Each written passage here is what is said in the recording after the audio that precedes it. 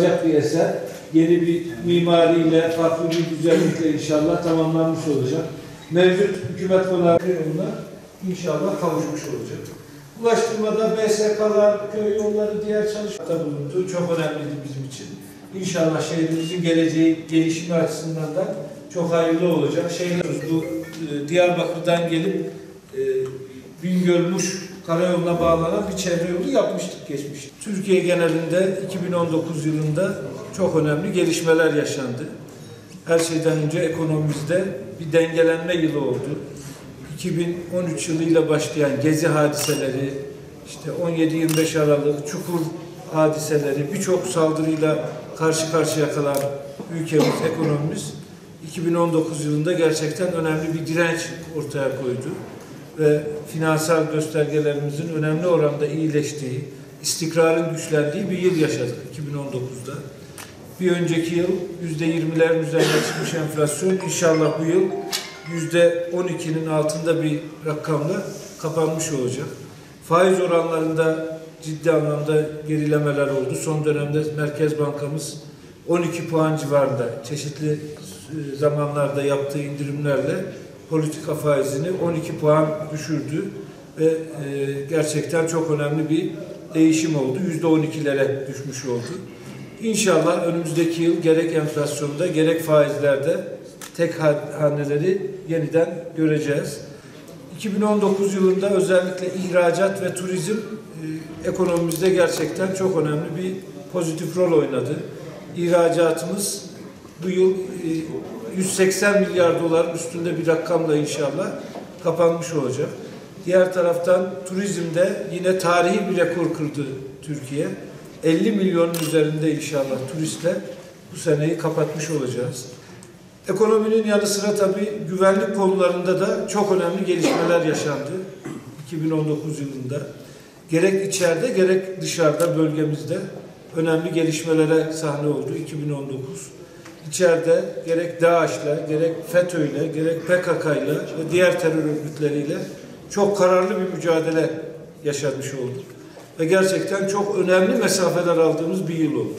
Terörle mücadelede çok ciddi mesafeler aldığımız, huzur ve güven ortamının çok ciddi anlamda olumlu yönde değiştiği bir yıl yaşadık. Bugün artık bölgemiz başta olmak üzere tüm ülkemizde terör konularında gerçekten çok daha rahat bir noktadayız. Ama hiçbir zaman tabii ki rehavete kapılmıyoruz.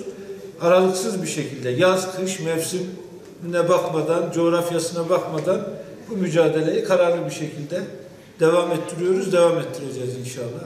En önemli gelişmeler arasında tabii Barış Pınarı Harekatı var. Türkiye daha önce Fırat Kalkanı'yla, Zeytin Dalı'yla Suriye'de sınırımızın ötesinde çok önemli operasyonlara imza attı. Ve gerçekten çok etkili müdahalelerde bulundu. Özellikle Fırat Kalkanı ve Zeytin Dalı harekatından sonra 365 bin mülteci kardeşimiz memleketine, yurduna geri dönmüş oldu. Şimdi de Barış Pınarı Harekatı biliyorsunuz e, gerçekleştirildi. Ardından hem Amerika Birleşik Devletleri ile hem Rusya Federasyonu'yla çeşitli anlaşmalar yapıldı, mutabakatlar yapıldı ve bugün Türkiye artık çok daha geniş bir coğrafyada etkili bir şekilde e, varlığını ortaya koymuş durumda. Suriye'de tabii en önemli amaçlarımızdan bir tanesi orada güvenli bir bölge oluşturup Suriyeli kardeşlerimizin oraya gönüllü olarak ve insan haysiyetine yakışır bir şekilde geriye dönmelerini sağlamak. 1 milyon civarında bir hedefimiz var ilk aşamada biliyorsunuz. Bu çerçevede de çalışmalar başlamış durumda. Bugün Türkiye dünyada en fazla mülteciyi e, barındıran, onlara ev sahipliği yapan ülke konumunda. Bu gerçekten çok önemli bir sorumluluk. Maalesef uluslararası alandan yeterince bu konuda destek görmedik.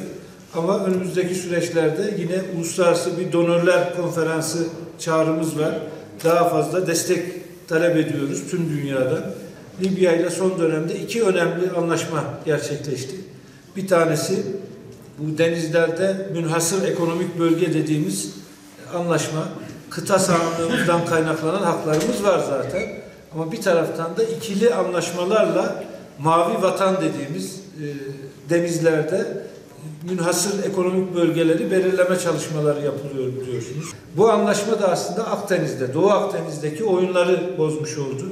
Türkiye'yi ve Kuzey Kıbrıs Türk Cumhuriyeti'ni dışlamaya çalışan farklı bir ittifak oluştu biliyorsunuz Doğu Akdeniz'de ve oradaki kaynakları, Doğu Akdeniz'deki kaynakları haksız bir yere belli kesimler tarafından e, kullanmaya dönük bir çaba gördük. Türkiye yine oradaki oyunu da bozmuş oldu. Hem Libya'nın çıkarları hem Türkiye'nin çıkarları açısından çok önemli bir adım atılmış oldu. Bu anlamda da hükümetimize ve Cumhurbaşkanımıza da şükranlarımızı sunuyoruz.